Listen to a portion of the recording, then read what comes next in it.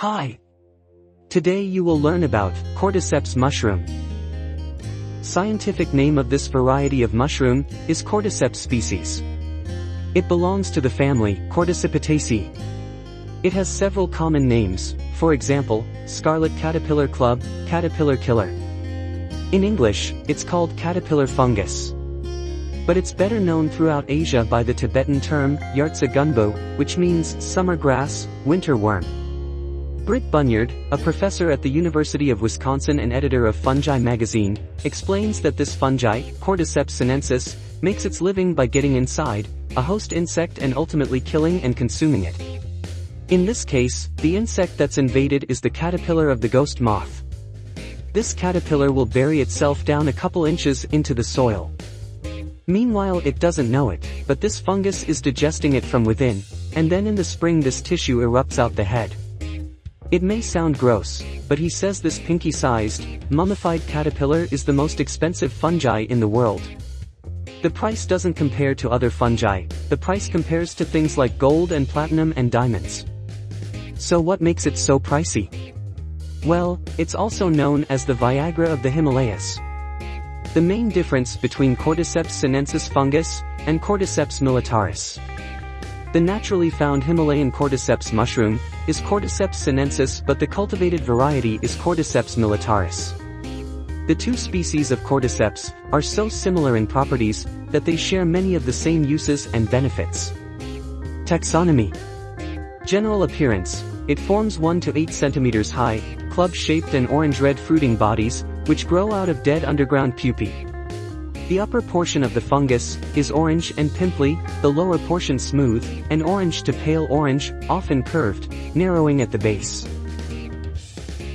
Few of the benefits of cordyceps mushroom are It produce cordycepin, 3-deoxyadenosine. Anti-aging property. May boost exercise performance. Potential anti-tumor effects. May help to manage type 2 diabetes. Possible benefits for heart health. Help to fight inflammation and much more. Next is the growth parameter. The substrate, which is used to cultivation of cordyceps mushroom, is supplemented black rice. Cordyceps naturally grow on insect larvae, so your brown rice and both substrate will be a nutrient-rich substitute. Combine the dry ingredients, like nutritional yeast or soy peptone, tapioca starch, magnesium sulfate, kelp powder, crushed multivitamins, and gypsum, in a mixing bowl. And it may be a suitable substrate for cordyceps mushroom. Temperature needed 16 to 24 degrees centigrade. Humidity required 70 to 80% for successful cultivation of that mushroom. Now, come to the main cultivation method. We have to know that this mushroom is cultivated under lab conditions where facilities for control of temperature, humidity, and filtered fresh air are available. Cultivation is done in jars which are kept on racks just like we keep bags or bottles in Spawn Lab. First step in preparation of the substrate is the preparation of nutrient solution.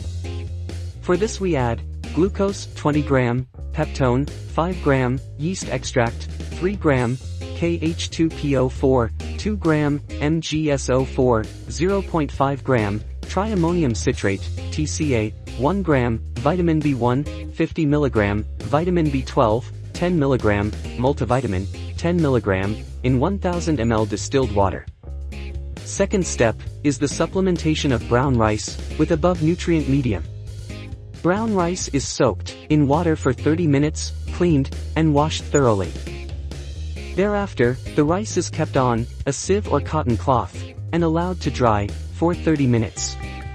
Various workers have used substrates other than rice, also used for the cultivation of this mushroom. Take clean, sterilized glass jar.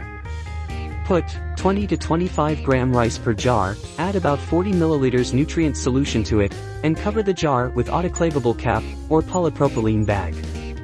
Then autoclave, at 15 psi for 40 to 50 minutes. A small hole is made, in the cap, and it is plugged with cotton, before autoclave. Cool the jars, and add 5 to 10 milliliters liquid spawn. Whole operation, is done in laminar airflow cabinet, to ensure that, there is no contamination. jars are moved, left to right, to spread the liquid medium over the solid medium. After inoculation, with liquid spawn, the jars are kept in dark condition, for 8 to 10 days at 20 to 22 degrees Celsius and 65 to 70% relative humidity. After complete colonization of the substrate, the jars are kept in light, for a week, when the color of mycelium turns orange. Provide 12 hours light daily. It may take 7 days for yellowing, another 2 weeks for bubble and then pinheads formation. When distinct pinheads are formed, we can reduce the light to 8 to 12 hours, and it may take another 5 to 6 week till mushrooms attain harvestable size of 4 to 6 centimeters. Total time required for one crop, from inoculation to harvest, can be up to 3 months. When head of mushroom turns club-shaped, it is ready to harvest. The mushrooms are plucked out of jars and then dried.